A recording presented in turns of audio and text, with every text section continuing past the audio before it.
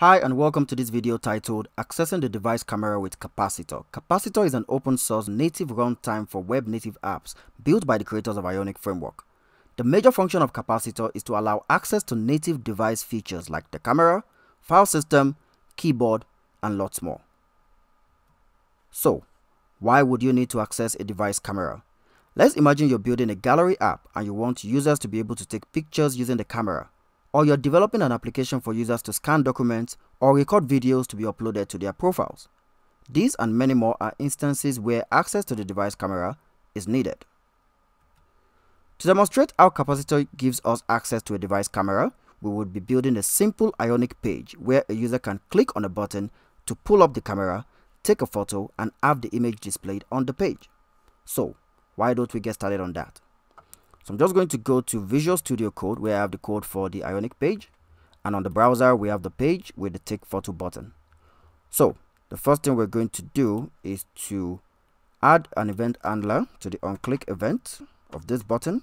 Say onClick equals, set that to an arrow function and tell it to call the take photo function, which we're going to be creating later.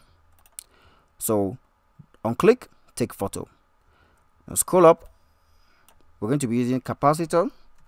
So we're going to have to import a couple of things from the capacitor core library. That will be plugins and camera results camera result type. And from plugins, we're going to access the capacitor camera component. So just going to get camera from plugins. Next, we're going to create a local state variable to hold our image data. That will be camera image and its counterpart will be set image. This will set to use state. I'm just going to put any here so we don't get any errors with TypeScript. Now scroll down and now implement the take take photo handler for our button. So we have take photo and the first thing we're going to do is make this an async function because camera is going to be returning a promise.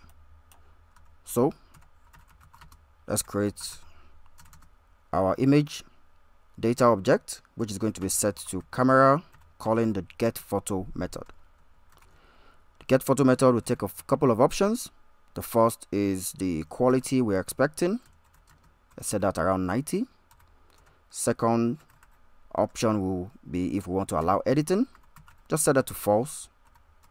And the result type would require the base 64 version of this image.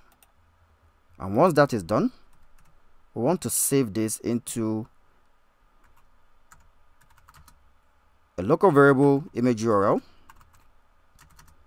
that will be set to a template string and transform our base 64 image to one that can be loaded up in the source attribute of an image tag. So say 64, we'll put a comma here and just input image dot base 64 string.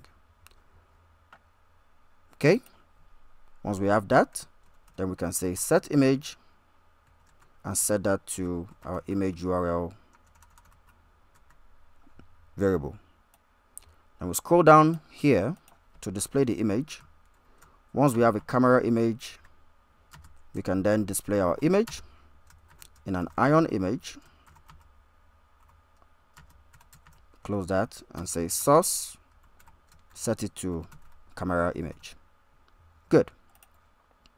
So this squiggly line shows that we have not imported uh, ion image. So I'm just going to scroll up and import that ion image. Good.